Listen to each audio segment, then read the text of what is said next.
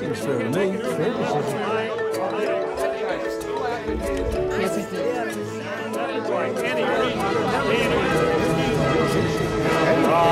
Well, if you don't know what fair is, you can't make it.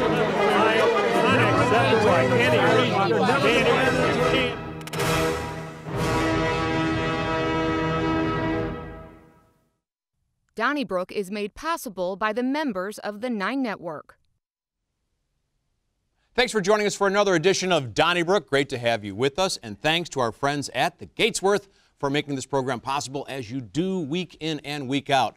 Let's meet those assembled around the big green table for this edition, our first in November. The media veteran herself is with us, Wendy Wiese, along with one of our founders, Mr. Bill McClellan from the St. Louis Post Dispatch, and another one of our founders, the one and only Ray Hartmann, and from STLMag.com and St. Louis American, Alvin Reid.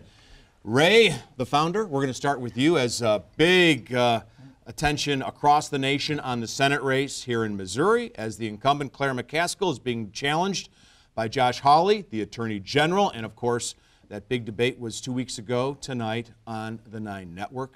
So, um, Claire McCaskill has an ad where she's saying that she doesn't identify with the crazies in the Democratic Party. And Bret Baier of Fox News asked her, okay, who are the crazies? And she said, well, you know, one state senator who said that the president should be assassinated. She's referring to uh, State Senator Maria Chappelle Nadal, who then, in terms we can't use here on the Nine Network, threw an epithet Right. back at uh, Claire McCaskill. I'm thinking if she's attacking people in her own party, not just through a slip of the tongue, but through a recorded advertisement, she must be in trouble. I'm talking about Claire McCaskill. Quite the opposite. Actually, I was surprised. 538.com, which I think, you know, polling's inexact, but historically has been the most accurate, has her has a, Missouri as a toss-up state with Claire having a three to two chance of winning. In other words, she's got her up about 1.5 percent, which is really good because a lot of the other polls haven't had that. Um, she's absolutely Claire is a moderate, and and she had every right and reason to attack, you know, extremism on her in her party in Missouri. And I, the, one of the reasons I'm optimistic uh, about Claire is Trump is going to make a big difference one way or the other. His closing message is all about immigration. And I don't think in Missouri, and even Missouri, that's a particular, this is not one of the states that I think that closing argument, which is bogus anyway, is going to make a difference. I actually think Claire's going to make it. Well, you know, talking about uh, State Senator Nadal again, and I, I hate to say anything bad about State Senator Nadal because she does seem unbalanced. But I, I, I don't think that this helps Claire McCaskill, because who desperately needs a large black turnout. And, and I'm concerned, because I'm rooting for the senator, I'm concerned that if the turnout is at all down, she, she won't win. 'Cause- She got so few votes when she ran against Lacy, and when she's won, you look at the number of votes that she got. I don't think that that's a, a factor. Uh, also, you know, How does all- she keep getting reelected, though? I guess that's what's so puzzling. Well, to that's what I mean. Right. some- somehow she keeps winning, and no um, I just think that if you look at, I don't know when you said that, it threw my thought. I'm off. so it's all sorry, right. Alvin. I, well, I lost let it. me say this. You So say sorry. that Claire McCaskill's a moderate, but on some important issues like Supreme Court, mm-hmm. she didn't vote for Gorsuch, didn't vote for Kavanaugh, didn't vote for the tax cuts. So a lot of Republicans don't consider her all that moderate. They Well, think that she's liberal. And Well, what you, she- you bring up the immigration. This week, she moved to the center on immigration, saying the mm-hmm. president does have to defend the border. Look, also and- in that Fox To, News to Charlie, interview. she, she's endorsed by the border agents. I mean, so she is not a uh, abolish ICE, open the borders kind of a person. She look, she is liberal on some issues. She's clearly pro-choice, for example. She's clearly been for the LGBT community. I mean, she, she is liberal on a lot of issues, but she is, and again, it's empirical. She's relative to the, her party, the fourth least liberal by any me- by conservative measures in her voting record. And one of the issues, as Bill points out, that she has been a centrist on, and I think it's a good thing, is on immigration because we need comprehensive immigration reform, not open borders and, and not this Oh, craziness Trump's talking if, about. And, and I, I think your, I think your loyalty to her is is great, and your optimism is is wonderful. But if I'm if I am a Democratic voter, and with these midterms, with so much riding on these midterms, and there has been crazy behavior. I mean, no side, both all over the place. We can talk about crazy behavior on the right, on the left, wherever. But for her to throw Maria Chappelle Nadal under the bus like this, even though I agree with you, Bill, about Maria Chappelle Nadal, I think that means that she's got some internal numbers. I think she, and, and the fact that she said that the president has to do what he's got to do. I think that, I, I think that she knows that she's in trouble. I and disagree. And I, mean, think it gets to be the opposite. I mean, right. it's just like you're winning. You could be winning a race and you got a kick at the end. Yeah. Like you say, a long distance race. I know where I'm at, but I got a little something left. Well- and I'm playing And, it and, and look, look, look at uh, in the gubernatorial race of 16. Remember when uh, Chris Koster decided he didn't want to have further debates? Yeah. And we all wisely said, well, that's because he must have polls showing that he's doing very well. And Well, I the know truth- now, I will Maria. say, though- keep in mind, I'm just the thinking entire, of Reagan, you know what, the 11th commandment. I mean, you don't speak ill of, of go ahead. Uh, when Maria was censured, as she should have been, after calling for Donald Trump's assassination in, in September of 17, it was she it was almost universal on her party. There were there were a couple of people that were offended, and I understand because there was a white racist guy who had responded that didn't get censored at the time, so there were some issues there, but. She does not speak for well, the African American Okay, community. let, us talk uh, about Josh Hawley. Bill, you saw the debate uh, that was here at our Nine Network studios, and I think the consensus was that Josh Hawley handled himself very well, very articulate, and I will say I, I did hear him on the Mark Reardon show this week. He sounds extremely confident. Uh, now, maybe that's Josh Hawley by nature, but uh, he doesn't seem like he's behind in any polls that he's seeing. Well, I thought uh, he did really well in the debate. It, you know, I don't agree with him on the issues. I, I sort of do. He he's got good polling, I think, and he knows what people want to hear, and he says it. But you know, he's smart, articulate. Uh, I thought he did terrific. And a matter of fact, I was reminded of, of Eric Greitens. I thought this guy's as good as Greitens, you know, without the military resume. So I, I, I I like the idea, Ray, that Claire McCaskill is ahead in some poll. But if, if I had to bet, this is Missouri, I, I would bet on Josh Hawley. Well, I might agree with Hawley on some issues, but he does come across to me as pretty prepackaged. And then when I read in the Kansas City Star that he's got, you know, pollsters and consultants from out of state who are running his office in Jeff City, which was a story this week, I thought, hmm, you know, and that combined with the fact that he didn't like professional politicians who kept climbing the political ladder, and about nine months after he became Attorney General, he threw his hat in the race for the U.S. Senate. Yeah, that, I mean, that's talk started four months after he. Which is Four. it's Got in. but but this is I mean we live in really bold bold crazy times and it, once upon a time maybe 10 15 years ago to to you know uh, to to decry that kind of ambition and then to turn around and pre- you know be as just as ambitious uh, I think today it's like okay he's he's going to take Claire and so no matter what they say about him and no matter what misstep he makes, he's still my guy. And, and I think that's where we are today. you talk I about think Bill- silos, that's I where we are. I think Bill has Bill has coined his perfect campaign slogan for him, which is "I'm just like Eric Greitens." I think that would be a good slogan for him. And he was he was Eric in Greitens office. won, Ray. I know. Greitens well, I mean, we know how what how That's what I'm great saying, governor he like, turned out to be. anything goes. I mean, it's like anything anything goes. And Wendy's exactly right. Nothing that was said in that debate here in these studios is going to change anybody's minds how they're going to vote. Quite frankly, it's just a matter of who goes out and actually votes next Tuesday. Turnout and that's why I said like to get worked up over. Well, he's smart and articulate. Well, the, the man's an attorney. Now, not all attorneys are smart and articulate, but at the same time, I'm not amazed that he could do well in a debate. Right. You Okay. know, This is a Hey, let's ref- move it's a referendum Okay. on Trump, Yep. and and think it it- is. and it's about turnout. And if you're okay with Trump, fine. If you're not, you need to turn out. Oh, Alvin Reid, I want to ask you about Amendment 1, which will be the first amendment uh, facing, of course, the voters in Missouri next Tuesday. Amendment one's a little bit unusual because it, it has your, uh, it's going to limit campaign contributions and how, when a politician can lobby after leaving office, that sort of thing.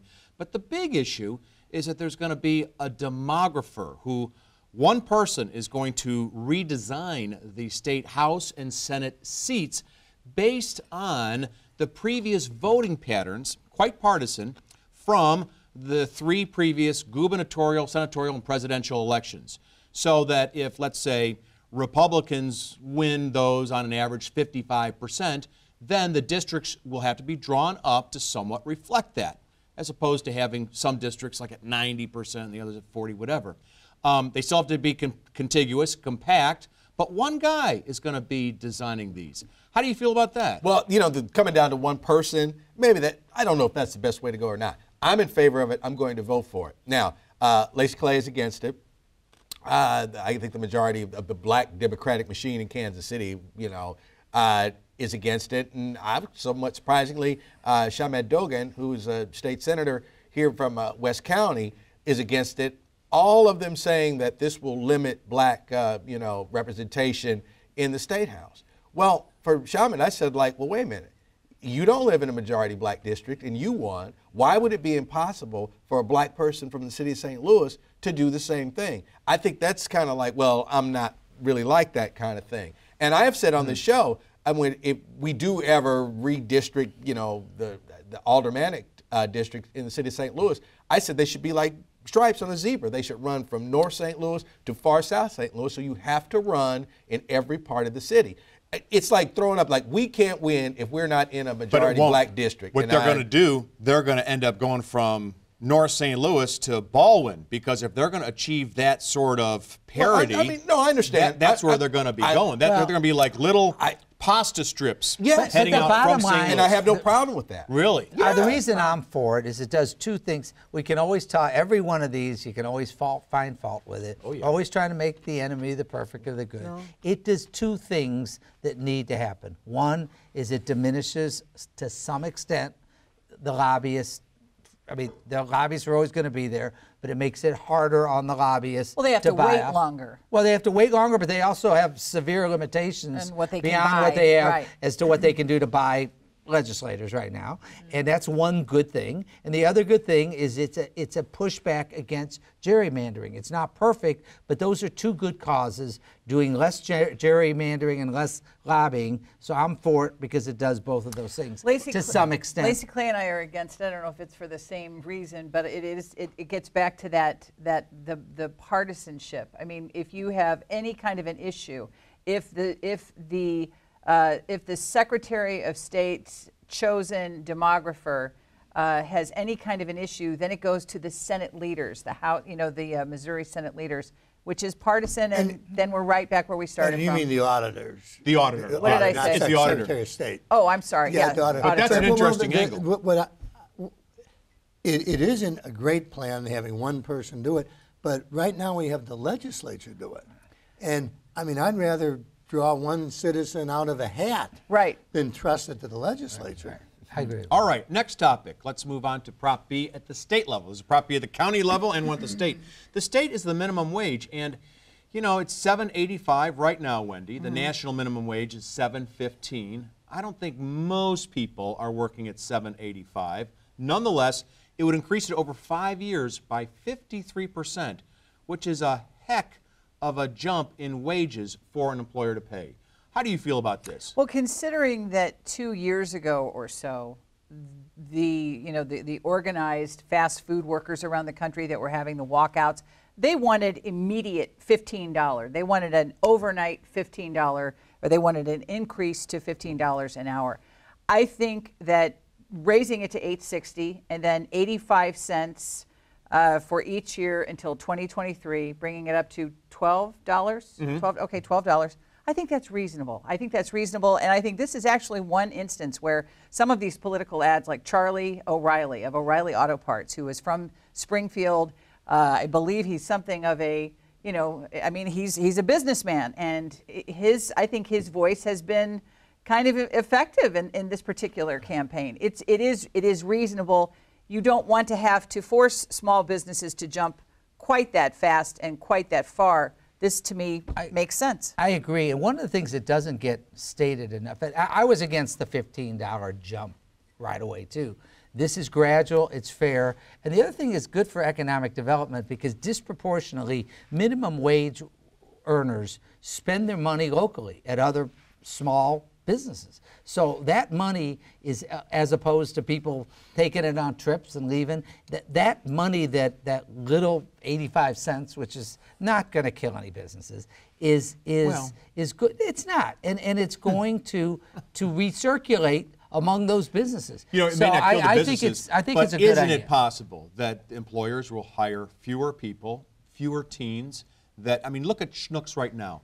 They've got a robot going up and down. Yeah, but that the ain't got aisle. Nothing to that's do not with 'cause of minimum minimum wage. wage. Yeah. It does. No, it doesn't. Because No. as wages go That's up, eliminating Schnucks is different job. because it's union. Those are higher jobs. but those are higher wages already, Right. Schnucks. Panera, McDonald's, all automated right now, one way or the other. And the higher the wages, the greater incentive to get the automation. In fact, the St. Louis Fed just this week had a report that in the next 20 years, 60% of St. Louis jobs Yep. can be automated. Yeah, automated. but that, that, that's going to be no, no matter what. I mean, and I, I think the, the minimum wage thing makes a lot of sense. And long term, because of automation, we got to come up with new plans, Charlie. But for right now, raising the minimum wage is good. And it may not, cost of living may not match what the raise is, but there is every year it costs more to do the same things. So thus, when you're talking about uh, 50%, it will not be 50% by the time we get to the, you know, $12. It'll probably be more like 20%, 12%, because the cost of things is going to go up. So it's just matching cost of living. That's when another you- thing. When you raise the wages, the service or the good that comes out of that business is going to cost more.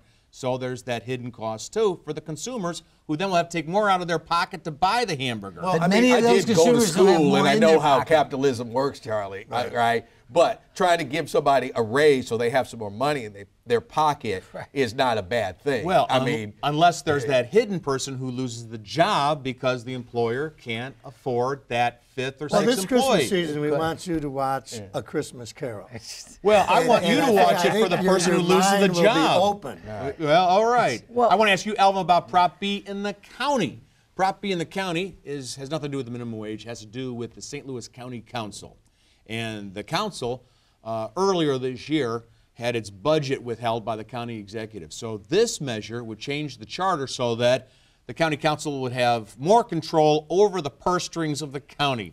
Are you in favor of it? Yes, I am, and I think it's, it has a lot to do, quite frankly, with what has gone on in the county for the last four years. Um, not to make it like a national issue out of this, but if you changed the House or the Senate and it was like Democratic, they would take actions to try to limit what the president was doing. I think we have the exact same situation in St. Louis County in that the county executive has just put the council in a situation where we have got to take control because this is madness right now.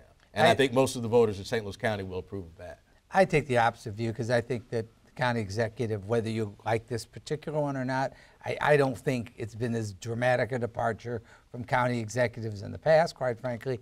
But the fact is, and I, and I think he's done a good job actually, but I think that, no, I do. I'm sorry. Man, do you But- read uh, the, sorry. do you read the paper? Yeah, man? I think he's been I- fine. okay. I think he's done a good job, but we can, people be voting. My point is this, that, that I think it, there's a, the charter set it up to where you have a county executive who has that ability to transfer money, and I think it's a kind of wonkish issue. I'll tell you what should be passed, though, are the campaign fine limits, Mm. uh, uh, campaign contribution limits, which is in the charter They amendment, gonna it, yeah. and also requirements of things being posted online. Those make sense to pass. But th- th- those aren't strong enough. You know, Well, I I think if you've got a contract with the county, as opposed to the current situation, you, you you shouldn't be giving money to the county executive. And that, you know, Steve Stenger's a nice guy, although he seems to have had some problems communicating with members of the council and the mayor of St. Louis, the previous mayor. But I just think that there's too many of his donors have been rewarded with contracts. And I'd like to see really strong language so that, hey, if you're doing business with the county, you cannot That's got give nothing to to any do with officials. this amendment. Well, well, Well, no. it's And I- I- it's- it's- I, go ahead, go ahead, go ahead. No, no, no. I was just going to say, like, There's three of them. somebody's got to come. Somebody's got to take control of the county government because it's out of control right now. And Well- if it's the council, that's fine with me. And I think I, I would just disagree with your assessment of his communication skills. I don't think he thinks he has to communicate with certain people, and, and that's the problem. The problem. county council's pretty dysfunctional. You have to, if you Well, follow they've been put in a pretty awkward Yeah. position. Yeah. What are they supposed to do? Right. All right. So does Alvin ever vote Republican? He does in a, a few races. Yeah. Hi, Paul Berry. How about, uh, are you going to vote for Paul Berry? Yes, I am. Okay. Crazy well, as it sounds. Paul Berry is, uh, uh, uh, what, what is he by trade? A bail bondsman? I think so. And I think he's uh, the Republican opposition for Steve Stenger. Yeah. All right. And you've never used his services personally. No, I have No. not. I, hopefully No. never. Not yet. Well, what about, uh, speaking of um, the county, it's the big zoo tax coming up uh, this week where county residents have a chance to increase their sales tax by one eighth of a percent to contribute an extra $20 million a year to the zoo. Do you think it's going to pass, Alvin Reid? I do. I'm Yezu. I think it will too. Yes, I'm going to vote for it, and I think it will pass. I'm not going to vote for it because I think the sales tax is already too high and it affects the poor too much, but I think it's going to pass. My vote is sacred, so it's secret, but I'm going with my buddy Ray Hartmann here. Well, I'm definitely voting against it. And keep in mind, folks, it's 20 million a year in perpetuity. It'd be one thing. Well, now, Ray, we were just zoo. saying whether or not we're doing it. We're Right. not giving the was pitch pitch, for right. it. Oh, well, I just did. And Right. so the answer Okay. is it's All right. very important to vote, Bill vote McClellan. no. But I would guess that it's going to pass. What do you think about uh, action taken by the city last week to hire a Boston firm to tell the city of St. Louis how it might energize itself for economic development and grow jobs? I don't like it. I, I hate to sound so provincial, but for economic development and consultants, I think there's plenty of people in St. Louis that could do it. We've got a couple of uh, schools that are, you know, have economics departments that are good. I, I don't think we have to go to Boston to have people in Boston who don't really know much about St. Louis tell St. Louis how to economically develop. Well, McClellan Reed could basically sit everybody down That's and right. tell them, hey, first of all, you got too much crime. But you want to do something about that? Second, improve the schools. Three, you'll attract more businesses. But don't We're you done, think? I mean, people people from inside the area have been saying that for a long time, and still. Well, what do you think the people sit. from Boston are going to say? Other than, where's my check? But- you know, But like, right, they don't have any, se- you know, okay, they, if They don't only have you a had a dog, yeah. harbor like we did. Or why don't you have some Revolutionary War stuff? Oh, that's right, you I, don't. I you know. truly don't believe we need a study. I mean, in other words, it's Not it's another one one. of those. I mean, and I, I don't disagree, Bill. We, we, this is, but we've been on the air for 37 years. We were talking about studies in the 80s on this show. Mm-hmm. We'd always be, we, there was at the time we felt like the only, all the wisdom was in the Eastern time zone, you know, and it, it's mm. like we don't need a study for economic development. This is, to me, it's a lot of this. We have a lot of different agencies that that address this. Well, do they? Yes, they do. And How they, how's I that mean- working out? Well, I mean, I think actually, when you look at the cortex and you look at some Yeah, of the things true. being done in biotech, I think things are go- are doing. We, we have limitations. But you know what? That but- cortex but- was based on something out of Cambridge, Mass. And you look at some of the successes in St. you Louis, the founding of the Post Dispatch, of the Missouri Botanical Garden, Anheuser-Busch, uh, the Arch, all done by people from out of the city. Well, yeah, But I'm not know- saying we don't want to attract talent here, Charlie. I'm just saying I don't think we need, you know, economic studies to be done elsewhere to tell us You, what you to know, do. We one got way people to who can do them. one way to find best practices is to Google. I mean, you can get online and see best practices. You don't need to spend hundreds of thousands or millions of dollars on some firm. The best practices are out there. Well, if you or want the mayor of Kansas City ran the last time he ran. He was, would run for reelection. He said, "I'm running on getting the airport together, and we're going to do it, and we're going to have a plan in like 18 months." And he did it. And he said, "I'm running on this instead of running from it." And that's what St. Louis needs. St. Louis doesn't need to go to Boston to get some ideas. They need somebody to step in and say, like, "Hey." You're going to do what I tell you to do, or you're not going to be here, and we're not playing buddies, and we're not playing favorites, and taking care of the same old All right. people. All right. Okay. Now, one one more topic, uh, and and we we had a terrible weekend in Pittsburgh in the Squirrel Hill, Hill neighborhood, where senseless tragedy at the Tree of Life Synagogue. Wendy, I learned that the St. Joseph Church in Cottleville, one of the largest in the Archdiocese, now has uh, armed guards at the Sunday services. In fact, there's a police car that's parked in front of the front door every Sunday. Is this where we're at right now? I think it is. I think it is where we are right now, and it's it, it is tragic, but it is it's it is reality.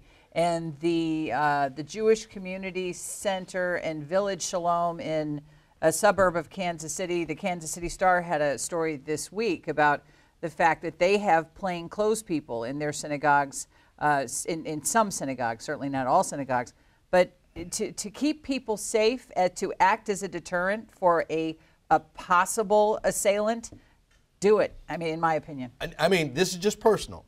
I, I can't have it. I just don't think I would attend a church that had an armed guard in it or, or undercover police officers, you know, carrying guns within my, my sanctuary. I'm just I'm just totally. But what about outside that. in the parking lot to have a police car just as a hey, you know, uh, think twice. if Maybe, but I'm just. I know what is faith about. If, if I can't practice it in a church, then what's the point? I just that's how I feel about it. I, no guns. I don't want any guns around my church. I, you know what? I have no objection to any church, any synagogue wants to have armed guards. That's it's just fine. But the solution, however politically incorrect it is to say, is at some point to address gun control and reduce the amount of armaments in this country. It's not going to solve it all overnight, but the solution we ought to be talking about is gun control. Period. Well, you know, Kirkwood City Hall had a armed police officer when, when uh, Cookie, Cookie Thornton Thornton. shot it up. I mean, there's no complete defense. I'm afraid. It's It's just it's church. It's a sanctuary. It's got to be that. I'm sure we'll take a few phone calls on on your turn, but first let's find out what viewers had to say about last week's program. We heard from John Johnson, who wrote, I'd be more supportive of a straightforward road and bridge proposition than this political dump cake. Mr. Johnson's in St. Louis County. Elam Diefendeifer wrote from St. Louis, Should we hold the zoo hostage when it wants to invest more in our area until everyone agrees how to help fund its research? The answer is a definite no. And we heard from Dick Lodge of Baldwin, who wrote, I learned in kindergarten not to talk when someone else is talking. Did the Donnybrook Five all skip kindergarten? You can write us care of KETC 3655 Olive Street, St. Louis, Missouri 63108. Don't forget those emails, letters at ketc.org, and those tweets. Hashtag Donnybrook STL because Alvin and I will be reading those in just a few minutes uh, on Donnybrook Your Turn. And so we look forward to hearing from you. You can call right now or start tweeting, and we'll be reading those in a matter of moments.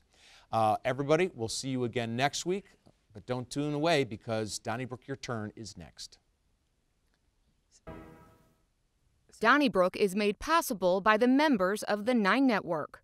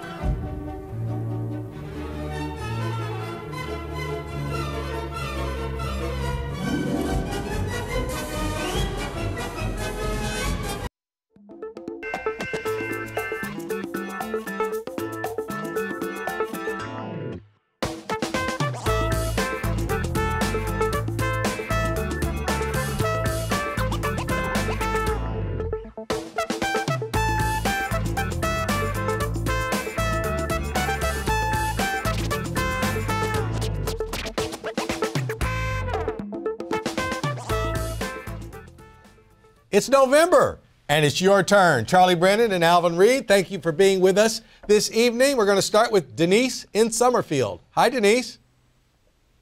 Hi, how are you? Just fine. I just I just wanted to make a comment about Bill McCullen when he agreed with not going to Boston for that uh, survey thing. I was fortunate enough in the small town of Summerfield, Illinois, which is like 400 people, to receive grants from St. Clair County uh, for our park. And the equipment we put in was very basic.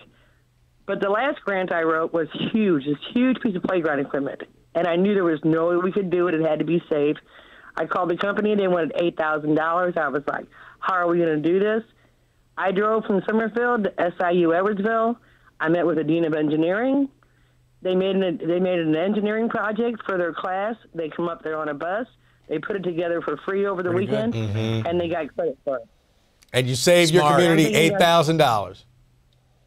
Eight thousand, a little over eight thousand dollars, and Summerfield didn't have eight thousand dollars. Yeah, I know. wait, But, um, wait. St. Louis doesn't have $8,000. St. Louis doesn't have Denise. What, what- Yeah. what was your title, by the way? Were you the mayor?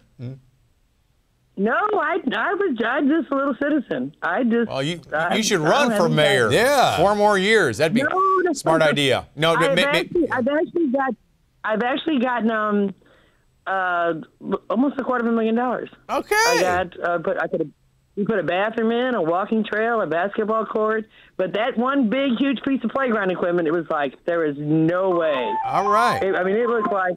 hey, you gotta get your phone. But I, I did. I did All right, thanks a lot, Denise. We're gonna move on. Thank you so much. Sound like the ice cream trucks in their neighborhood. Uh, yeah. yeah. Okay, let's go to Henry in Farmington. Hi, Henry. Hello, gentlemen. How are you tonight? We're Just good. fine. We're good. My question is about the minimum wage. Mm-hmm. There is already a minimum wage increase, and I've read through Prop B, and I can't find where one is going to cancel the other one out because they're saying that the one that's on the books is for a cost of living adjustment. Yes. Okay. Well, is that going to be in addition to the 85 cents? No, because I think this will now become like um, state statute, like the people voted on it as opposed to the legislature approving it. That's how I understand it. They both won't happen. One will supersede the other, and that would be if it passes, uh, then this is what will become the law. If it doesn't pass, then those cost of living uh, increases would, would continue. Okay? Do you know what says that? Because I can't find it. And the other thing is, did you know that Prop B, the, the proposition also exempts the state of Missouri employees from receiving $12 an hour? Seriously? I could believe that. Well, but that's that's a bunch of bunk. I, I, uh, true, but I also don't think there's anybody that makes minimum wage who works for the state of Missouri. So yeah, I, don't think- hope not. Yeah, Right. right, right. Yeah, okay. Mm-hmm. All right, let's go Th- to thanks for the Chris call. in Eureka. Hi, Chris. Chris. Hey guys, hey Alvin, I'm the guy that took a selfie with you last week at the parking lot. Oh, You hi. remember. How you doing, man? yeah, listen, uh, uh, and I agree with you also, Alvin, on the uh, guns in church. I think it's a very sad testament to our country where the only solution to guns and the gun violence is more guns. I think uh, I think we need more gun regulations and uh, certainly background checks. But uh, the answer isn't more guns. I Okay. think that's it's a real sad Yeah. testament to our country. That's that's. Uh, in fact, even in the in the Wild West, you had to check your guns at the at the sheriff's office when you came into town. Yeah, I, I agree. That's Now, interesting. I, I do want to point out there, my my feelings on this have nothing to do with, with the Second Amendment or anything. This is just kind of like my own little religious philosophy. In that, that's why I feel so strongly about it. This is really not, to me, an argument about Second Amendment and and guns and more guns or anything. Just like not here, not in this place of worship. I just, I'm just not down with that. So. And I, I would. I, I I did talk to uh, the Monsignor who runs St. Joe's Parish in uh, Cottleville, and the armed guard is not exactly in the room where the worshiping is going on or the Catholic Mass. He's kind of a, in a like a gathering area that's just outside the front doors. So I don't know. That might make some people feel a little bit better, but unfortunately, we have had too much violence in places of worship, haven't we? Uh, let's go to uh, Al in Florissant. Hi, Al. What do you say? Hey, you guys, I uh, love the show. Uh, Charlie, I try to listen to you every chance I get. Thank you. Um, and I, I've been watching Donnybrook forever. But uh, one thing about guns and the thing about the minimum wage. Mm-hmm. The thing about guns is they're they're everywhere. I have a bunch of them. You're never going to get rid of them. Uh, if guns kill people, we would just send guns to war. Okay, uh, we wouldn't have to send people there to do the job. And the thing about the minimum wage, it seems to me, and I don't want to diss anybody on min- minimum wage, but it seems to me like if you're still making minimum wage, you have put probably minimum effort into this deal. And I've been in the union trades for 36 years, and we are dying for people. We are, we are, we. I got two guys at the gas station that I go to every night. I've got them in the union now because they asked me what I do, you know, and I, I told them, and I got, I got them letters of intent. Almost every construction trade in St. Louis is dying for apprentices, and we cannot find them. every true. union meeting I go to, you know, bring your your cousin, your your neighbor, someone. We're we're dying for apprentices. We're trying to teach you. You got insurance, you got good pay, you have everything, but you have to tie your shoes up and you have to come to work. okay. You know what I'm saying? And Thanks, we just, yeah, we thanks just for the can't call. find it. That's a lot And of industries, not just the trades. Yeah, you're right. I mean, uh, trucking, big labor shortage, uh, data like coders, big labor shortage. In fact, I think we have almost a million unfilled jobs in the United States right now. But you know, some people are on minimum wage. But uh, hopefully, for those people, it's a starter wage that leads to something better. But That's how it should be, yes. All right, Donna and St. Genevieve. Hi, Donna. Yes, hello. Thank you for taking my call. Um, I'm actually amazed as as to why anyone would not vote to raise the minimum wage. Uh, in small towns like St. Genevieve, a lot of the jobs are minimum wage, and um, you know if if you can't drive out of town for whatever reason, then that is your choice. You know that that is your only option is to make minimum wage. Now I know that there's a number of people that are working would work a minimum wage, but that whole salary goes for child care. So they opt not to take the job for minimum wage simply because they're working, you know, just to uh, have their children go to a babysitter. So they stay at home, take care of their children. Uh, the spouse makes the money. They end up having to get on food stamps, you know, EBT or whatever, simply because you're working simply for child care. Okay. No, I hear you. Th- th- thanks. Uh, your, your comments probably directed to me because I'm the guy who uh, wasn't in favor of the increase because I think 50% in five years is, is pretty steep. But you know, we kind of assume that a lot of businesses are have pretty good margins and they're making good money.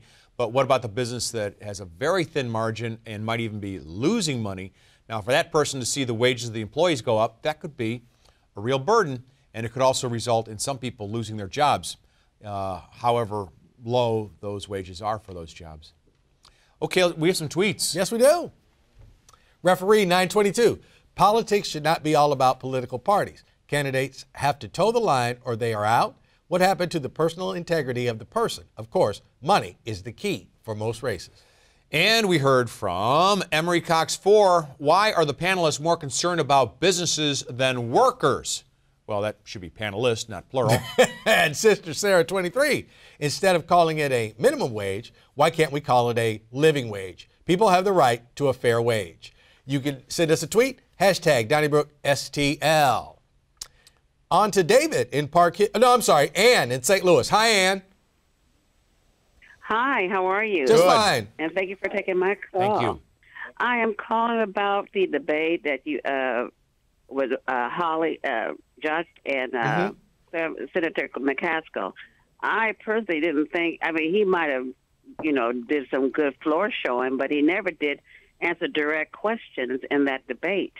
And I think uh, for sure, I believe Claire has really put Missouri on the map more than any senator I know during my lifetime about some major issues. And uh, for a neophyte to say that he had experience, he barely even finished a a whole year as Attorney General. So I would like to have some comments about that. Okay. I, I kind of felt the same way myself. You know, I thought that uh, he got into the office as the Attorney General and immediately said he was running for higher office, and that's completely the opposite what, what he had said he was going to do. In fact, he blasted politicians who did that. But uh, I guess that didn't matter too much to many Republicans who made him the nominee. And, uh, you know, he might have some great ideas. I can't deny that he's uh, very intelligent, but you can't say that he's uh, experienced. But I'm not sure that really matters to a lot of voters. It does not. It does not. Party identity, it's just a driving factor right now. But thank you very much. Okay, David, it's your turn. You're in Park Hills. Hi, Dave. Hey, how you guys doing? I've been watching Donnybrook for years. I thank you for taking my call. Sure. I think maybe we ought to take China and, and Japan as an example. For the first three years of childhood education, they teach politeness and compassion. I know with the education budget, budgets that are being cut, this is going to be hard to introduce new curriculum. But I think if we taught uh, uh, mandatory compassion and politeness, there would be a trickle up effect with less gun shootings in schools, less violence. It may even change the course of society in a trickle up effect, and um, it may even, you know, prevent some of the pro war, you know, things that we're doing. It's just my opinion. Thank you very much. You know what? I never really thought about that, and I, I, I understand what he's saying. That how about we start? You know, we take for granted that people are going to be polite. Well, maybe maybe we're past that point. Maybe we have to You teach mean- people what being polite is about. You mean as opposed to having Fight Club in our Yeah, yeah, daycare? dude, right. which we did not And discuss. we didn't discuss because we had no uh, disagreement on it. And I don't mean to laugh because that was just hideous. But There was a daycare in St. Louis City which got some attention this week, national attention, because it pitted four-year-olds against each other in like boxing. One boy fell to the ground, and another was still pummeling him with the, you know, it was an inflated glove to be sure, but it's still not a pleasant experience at all. All right, Lou in U City, how you doing, Lou? Hey, hey, hi guys. Hi. Um, listen, I'm the uh, the chair of Missouri Business for a Fair Minimum Wage, and I just wanted you to know that the reason uh, state workers are not covered by Prop B is because it's illegal. Only the legislature can change the wages of state workers, Okay, that, and that makes sense. so we put Well- which workers you could put into it. Okay. Now, now Alvin says that makes sense. I do not believe it makes sense, but I, I bet it's the, I bet it is the reason. But again, politicians make laws that affect everyone but themselves. True. Uh, That's right. True. Once again. But I just don't. If, if there were, if, if there's a state employee out there making minimum wage, I. Yeah, it might be. For all I know, like, and I, there are probably some jobs that maybe there are state workers making minimum wage. Probably. I doubt it. Yeah, I doubt it. But you know, so maybe it's an argument that there is no right or wrong because the situation doesn't exist. Hey, thanks a lot for the call, Lou. Ron's in Augusta. Hi, Ron. Hi, Ron. Hey guys, how you doing? Just Great. fine. Always enjoy the show. Thank you. Hey, um, you know, we listened to Claire McCaskill talking about you know the nuts in her own party, and she really got a pass on this because she had such a crazy nut in this Chappelle. She could call her out. I'm wondering what other nuts they were talking about. That's a plural, and I think there's a lot more of them that she should have pointed out. Well, she did, and she talked about uh, those who shout people down in restaurants. Right. And you know, we're my wife and I are pretty conservatives, and but still to let you know Ray know we still support the minimum wage. We support the zoo, and to some degree we support Ray's view on gun control. Our idea of gun control is hitting the X in the target every time. Okay. All right. Thank you very much, Ron. Let's go to Jenny in St. Charles. Hi. Can you hear me? Yes, We sure can. Hi, can. Jenny. Go right ahead. Oh, okay. Um, on economic development, I would ask you to challenge the local universities to make it a class project, not just one university, but several, for them to come up with ideas for economic development. Make it a school project. It's what uh, the first caller of the night said, right? I Mm-hmm. Mhm. mean, uh, she had a project and she went to uh, SIUE, I think she said, for some advice and guidance and saved her city about $8,000 or so. That's true. I, I We will could say, do that. I will, I will say this about Washington University, St. Louis University, all the ones around here, okay? The region would have to, if you're going to commission them to do it, then the region has to stay out of it. Because the first thing they're going to get is, well, you can't do that. And they'll give all the reasons you can, but it'll come down to because the people I want to be involved in this, Yeah. well, you left them out. So you have to put them in. And I, I don't really favor going to Boston, but at the same time, I think that uh, there's just too many favors and Well- there's too many people with the, that always get taken care of. In some way, we have to break that chain. Now, either it starts in you know the leadership quarters of our region, or that we need to go someplace else and get it done. You know, um, the, the, the dirty, dark secret of a consultant's report is the following, and this was explained to me by a friend who's a consultant in San Francisco and has clients all over the country. When you assess the problems of a business, the one thing you make sure is that the person paying for the report is not the problem. In other words, the consultants will come in here, they'll take the money, and they'll find lots of problems in St. Louis, but none of them will be the people who commission the report, the They- politicians. yes, right, exactly. Otherwise, they won't get picked for the next report. Right. More right. tweets. Three. Oh, we have tweets. McGee 926. We need a bipartisan group, not individual, to redistrict Missouri. More than one person is required to keep a project bipartisan. And we heard from FMF, STL. Ray's right. Too many guns. That's the problem. When will we ever confront the real problem? Until we do, there will be no real solution. And from Crustley M. People should treat each other with more respect. Politics has become a reality show. We need our president and others to be presidential and respectful. Once again, hashtag Donnybrook STL. Send us a tweet.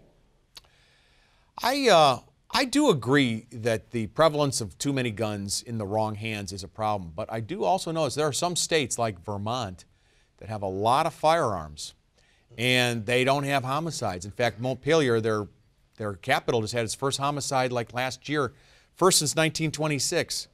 So, I think it's I think it's too many guns in the wrong hands. For real? Yeah. 1926? Yeah. I, I didn't know that. I, that, You know, it's a small town. I, I understand that, big. but yeah, most small towns they don't date back to 1926 for their last murder. That's that's interesting. I have to read up on that. David, Creve Coeur, how you doing, David? I'm doing fine. Thanks for taking my call. Go right ahead. I was uh, calling about the uh, Clean Missouri Amendment Mm-hmm. and gerrymandering. Uh, that is an issue that I think is a big problem in in the nation. Is the construction of the gerrymandered districts.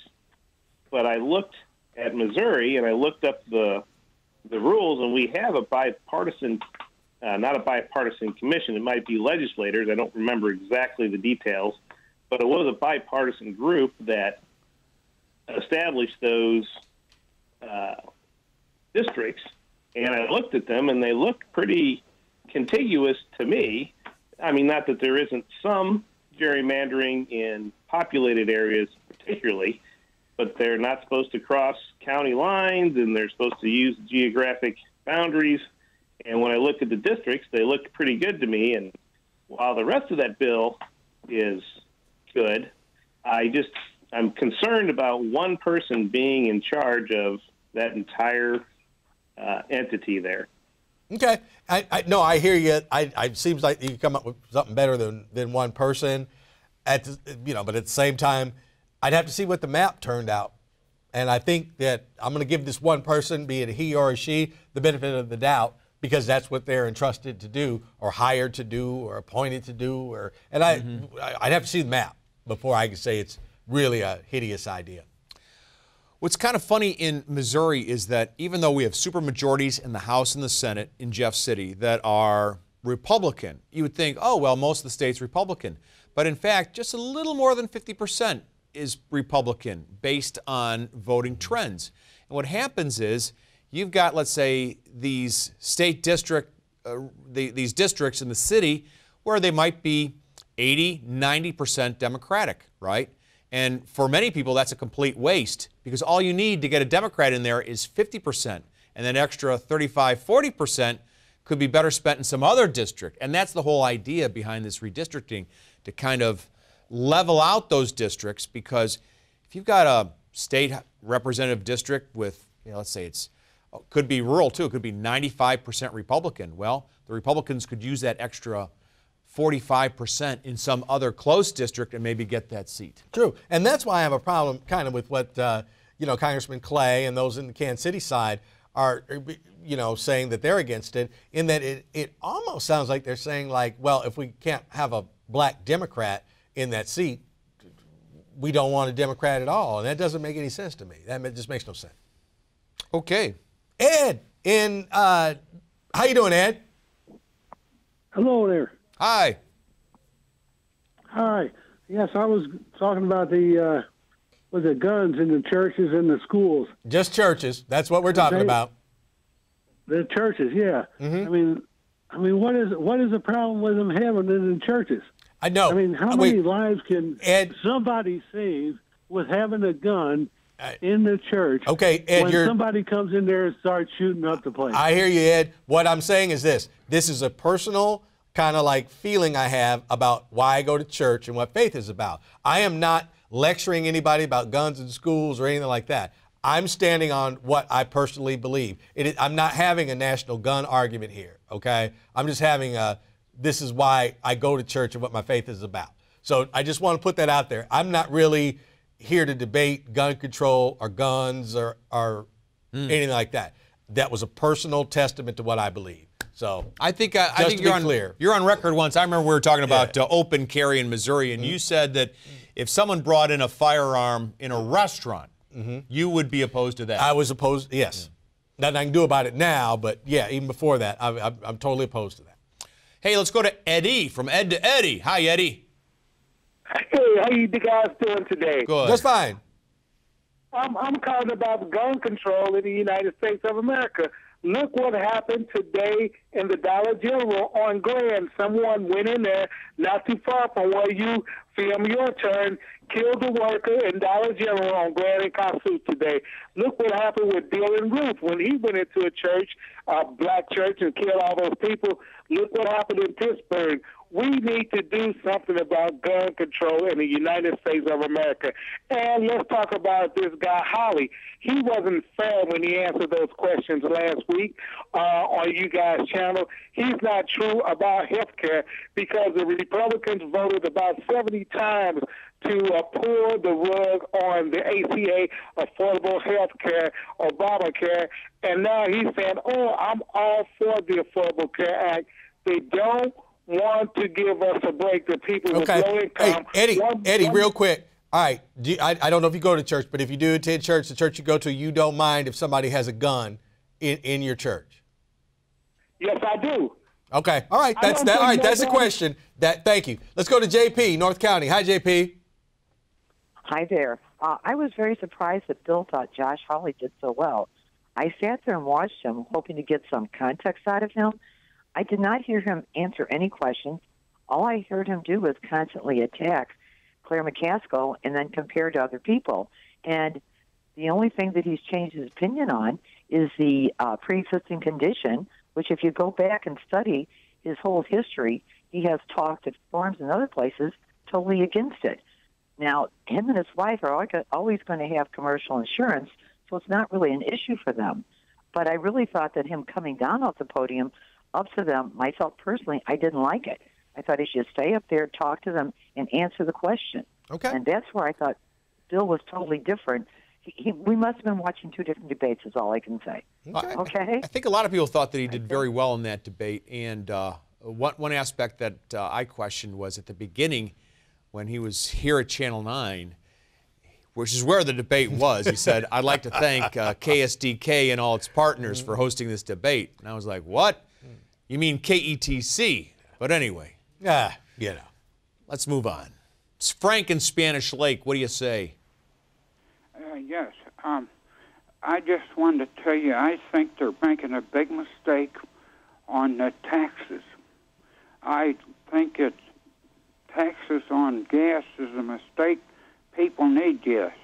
What we need to put taxes on is tobacco and gun stores. Hmm. That's where you need your higher taxes. Things you don't need bullets, guns, magazines, and and tobacco. Okay. Stop and think. How about how about beer and wine? Well, I that's that's not the worst. The worst thing is I think Frank likes is his beer and wine. tobacco will kill you. Yeah, Yeah, it will. So okay. a lot of things Thanks. will. No, the tobacco tax that would pass ten times before we put a tax on guns in Missouri or liquor. So we may might, let's fixate on that cigarette tax because we've got one of the low, probably the lowest one in the United States of America. We don't even manufacture cigarettes here, so that never made sense to me. Nancy in Shrewsbury. Hi, Nancy. Nancy? Nancy's. Yes. Go ahead, Nancy. Go right ahead. Oh, yes. Well, um, I wanted to uh, thank you for taking my call, and I wanted to make a suggestion. I, in good conscience, cannot vote for Steve Stenger for county executive, and I was planning on writing in Mark Mantovani's name. Okay. And I, that was a, an option for some people to consider. All right. Thank you very much. Thank you very Thank you. much. I, I'm gonna I'm gonna vote for the Republican, but I didn't think about that, so maybe I maybe I will. I don't know how to do write-in though, because I do the computer screen. There must be room there. There must be some. I don't. Okay. All right, we'll figure it out. I think we have time for one more phone call. Let's see if we can uh, squeeze Karen in. Hi, Karen. You're in St. Louis. Yes, I am. Thank you for taking my call. Thank you. I have two comments and one question. I firmly believe in term limits for uh, elected officials. I firmly believe in contribution limits for elected officials. And did Claire McCaskill really say that everyday Americans can afford their own planes? I'll hang up and listen to your response. Thank you. I, I don't think. I, I I'm not sure about I'm that, not sure. I'm not sure. Well, Charlie, you know, we're coming up on the end of the election season. I'd like to say that I thought our callers and Donnybrook fans acted very cordially toward each other. Very civil. opinions, very civil, and we hope Very that- intelligent. Hope we led that charge, but uh, we appreciate that very much. And thank you for watching Donnybrook. And Donnybrook, your turn. We'll see you next week.